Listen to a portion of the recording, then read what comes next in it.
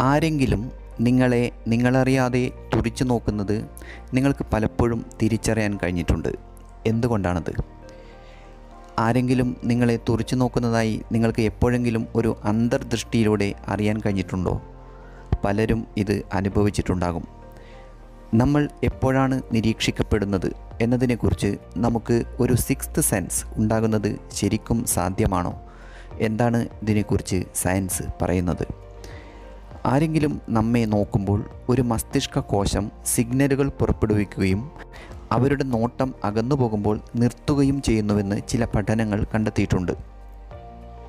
Cortical അന്ധത ബാധിച്ച ഒരു രോഗിയിൽ രണ്ടായിരത്തി പതിമൂന്നിൽ ഇത് പരീക്ഷിച്ചു.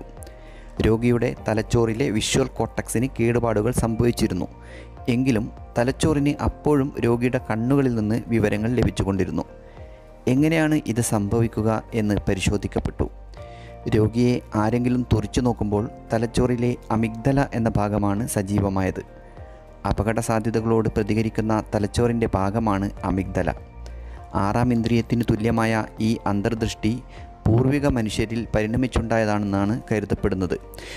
ഒരു ഇരപിടിയൻ സമീപത്ത് എത്തുമ്പോൾ രക്ഷപ്പെടാനുള്ള ഒരു അവസരം ഇതുമൂലം ഉണ്ടാകുന്നു. അങ്ങനെ രക്ഷപ്പെട്ടവരുടെ പിൻതലമുറക്കാരാണ് നമ്മൾ. അതുകൊണ്ട് നമ്മിലും ഏറിയും കുറഞ്ഞും ഈ കഴിവുണ്ട്. എന്തുകൊണ്ടാണ് പൂച്ചയുടെ കൃഷ്ണമണികൾ ലംബമായിരിക്കുന്നത്? ക്രൂരരായ വേട്ടക്കാരെന്ന നിലയിൽ കാട്ടുപൂച്ചകളും മറ്റു രാത്രികാല വേട്ടക്കാരും രാത്രിയിൽ തങ്ങളുടെ ഇരയെ പതിയിരുന്ന് ആക്രമിക്കുന്ന സ്വഭാവക്കാരാണ്. ഇതിന് ഏറ്റവും അനുകൂലമായ ഒരു ഘടകമാണ് ലംബമായ കൃഷ്ണമണികൾ. ഒരു ജീവിയുടെ നിലനിൽപ്പിന് അനുകൂലമായ ശാരീരിക പ്രത്യേകതകളെ പരിണാമം പിന്തുണയ്ക്കുന്നു. പൂച്ചകൾ ഇരയെ വിജയകരമായി തിരയാൻ മിടുക്കരായിരുന്നു.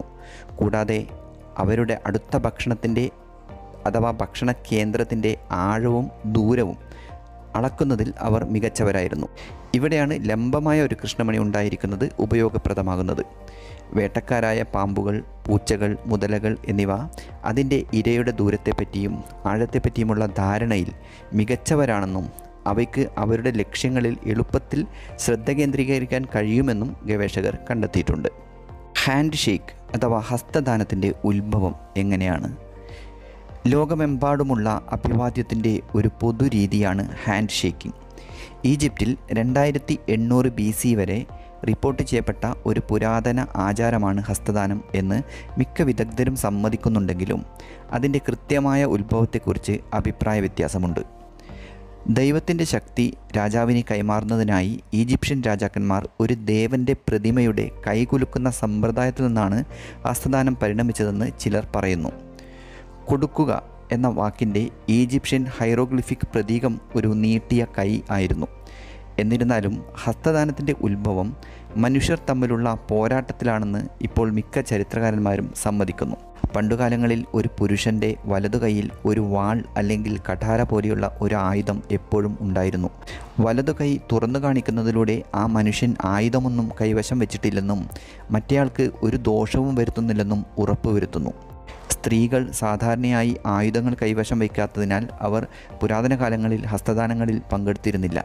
എങ്കിലും ആധുനിക കാലത്ത് പ്രത്യേകിച്ച് സ്ത്രീകളുടെ ബിസിനസ്സിലേക്കുള്ള പ്രവേശനത്തിന്റെ ഫലമായി ഹസ്തദാനം ഇപ്പോൾ രണ്ട് ലിംഗക്കാർക്കും സാധാരണമാണ്. പുരാതന കാലത്തെന്ന പോലെ ആധുനിക ഹസ്തദാനം സമത്വത്തിനും തുറന്ന മനസ്സിനും ഒപ്പം സമാധാനത്തിന്റെയും സ്വീകാര്യതയുടെയും കൂടി പ്രതീകമാണ്.